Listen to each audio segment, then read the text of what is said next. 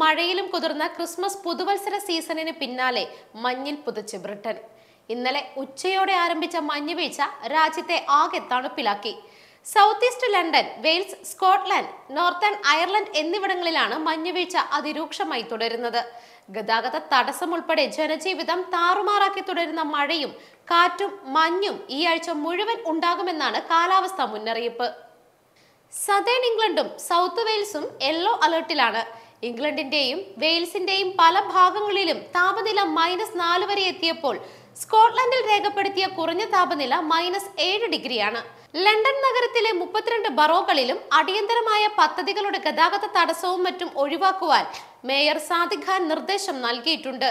പൂജ്യത്തിന് താഴേക്ക് താപനില കുറയുന്നതോടെ മരണങ്ങൾ വർദ്ധിക്കാനും സാധ്യതയുമുണ്ട് എന്നാണ് മുന്നറിയിപ്പ്.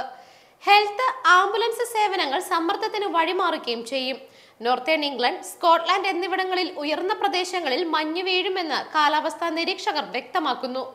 സ്കാൻഡിനേവിയയിൽ നിന്നും സൗത്ത് വെസ്റ്റ് ഭാഗത്തിലേക്ക് നീങ്ങുന്ന ഫ്രീസിംഗ് കാറ്റാണ് തണുപ്പ് സമ്മാനിക്കുന്നത്. Great London Kent Surrey East Sussex West Sussex എന്നിവിടങ്ങളിൽ ഐസ് മഞ്ഞ് മുന്നറിയിപ്പുകൾ റോഡ് ട്രെയിൻ സർവീസുകളെ ബാധിക്കുന്നതാണ്.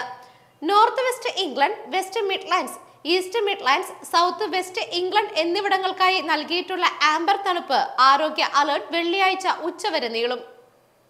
News desk Magnavision.